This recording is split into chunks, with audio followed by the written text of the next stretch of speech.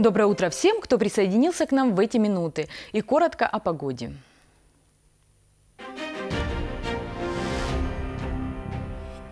Сегодня по республике осадки в виде снега. Ночью местами сильные. В отдельных районах туман и гололед. Ветер западный 5-10 метров в секунду. Ночью в горах порывы до 14. Температура воздуха ночью от 0 до минус 5 градусов. Днем столбик термометра поднимется до отметки плюс 5. В горах ночью до 11 мороза. Днем минус 1, минус 6. На дорогах местами гололедица. В Черкеске ночью и утром осадки, мокрый снег. Ветер западный 5-10 метров в секунду. Температура воздуха ночью 1-3 ниже нуля, днем 3-5 со знаком плюс. Ночью и утром на дорогах гололедица.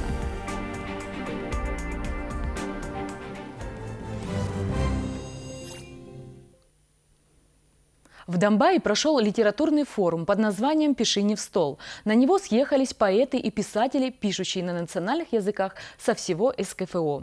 Для чего реализуется этот проект? Какова была программа форума и планируются ли в будущем подобные проекты? На эти другие вопросы в эти минуты в нашей студии моей соведущей были Джазаевой ответит директор литературного, художественного и культурного развития «Метрум» Баладжан Джукаева. Доброе утро всем. Доброе утро, Баладжан. Доброе утро. Я благодарю тебя за то, что ты нашла время, пришла сегодня к нам в гости. Поводом для нашей встречи стало то, что в Донбайе прошел э, литературный форум «Пиши не в стол» под таким красивым названием, в котором принимали участие писатели, поэты, пишущие на национальных языках со всего э, СКФО. Я знаю, что было 20 финалистов. Мне бы хотелось узнать у тебя о предыдущих этапах этого форума. Насколько я понимаю, что это был заключительный этап. И кто явился автором этого проекта? Ну, э, если говорить об этапах, то вы правы, несколько у нас было этапов. Это заявочный, когда мы непосредственно занимались освещением нашего проекта и рассказывали о нем всему Северному Кавказу, и не только Северному Кавказу. Затем был э, заочный этап, в рамках, это самый масштабный этап, я считаю, потому что в рамках него мы провели целых два месяца с нашими участниками, э, вот, э, которые прошли следующий этап, и проводили а, дистанционно занятия.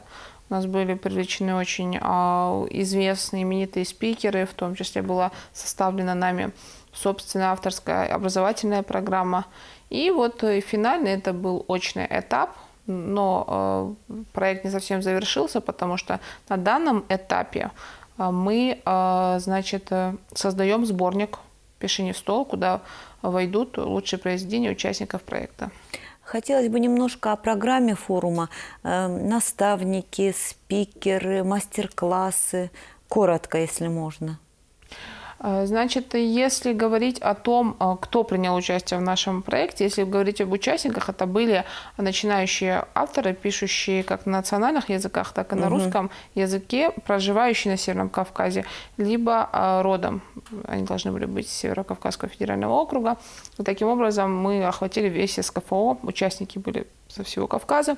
А если говорим о спикерах, то, наверное, ну, самыми яркими такими а, примерами это вот в очном этапе принял, уча принял участие председатель Союза писателей России угу. Иванов Николай Федорович. В будущем планируется подобный форум проводить?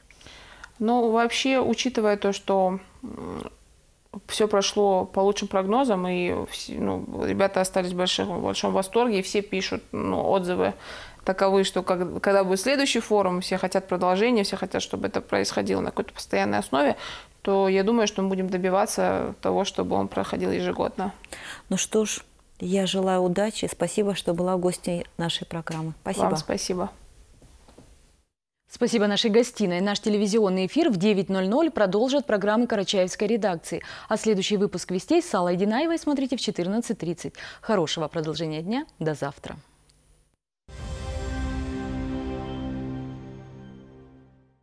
1 декабря торгово-рыночный комплекс «Европейский» открывается. Новый, комфортный, с широким ассортиментом и специальными ценами. Хутор Хорошевский, улица Шоссейная, 25. Город покупок «Европейский». Все лучшее в порядке вещей.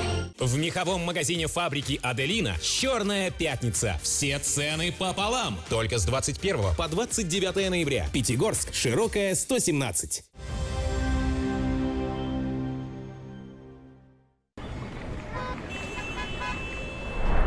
Мы вечно заняты и вспоминаем о своем здоровье только тогда, когда оно само напомнит о себе.